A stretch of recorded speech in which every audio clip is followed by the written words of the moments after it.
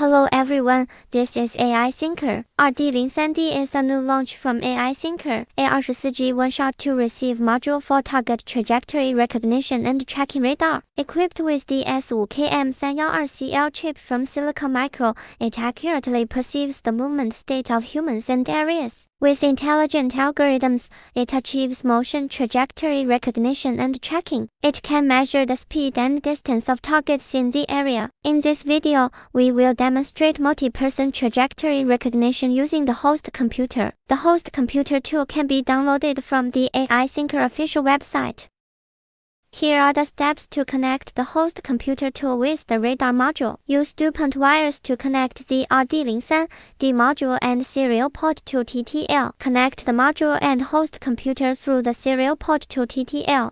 Double-click to open the host computer tool and the demonstration tool interface will pop up. Click on the Check Devices button on the interface. If the serial port connection is correct, a prompt box indicating that the serial port device has been detected will appear on the interface. Click OK to continue. Click the Start or Stop button to switch and display the target's position relative to the radar. When the host computer is turned on, it defaults to single target detection demonstration. Click the multi-target detection button to switch to the Set Target Detection demonstration interface.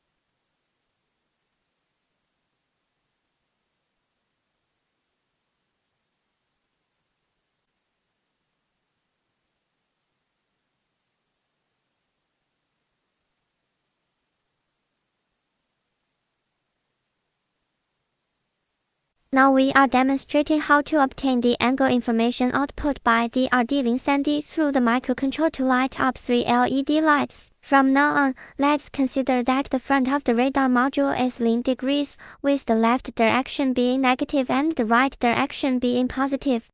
The specific positive and negative directions also need to be determined according to the placement position of the radar module. There are three areas, 62 for where blue lights are lit, 负二十 to 二 where red lights are lit, and 二十 to 六 where white lights are lit.